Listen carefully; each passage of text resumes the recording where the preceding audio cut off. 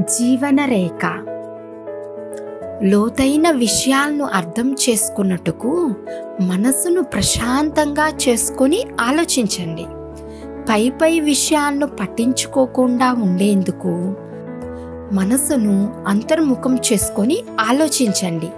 విషయాన్ని విషంగా చేసుకోవటం లేదా వరముగా చేసుకోవటం మీ మనసు మీదే ఆధారపడి ఉంటుంది. మనసుకు ఆకర్షించుకునే గుణం ఎక్కువ. దాని ముందు దేనిని ఉంచితే దానిని తనలోకి ఆకర్షించుకుంటుంది.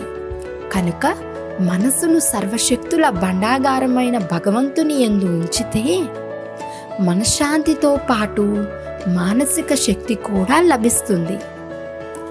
ఓం శాంతి.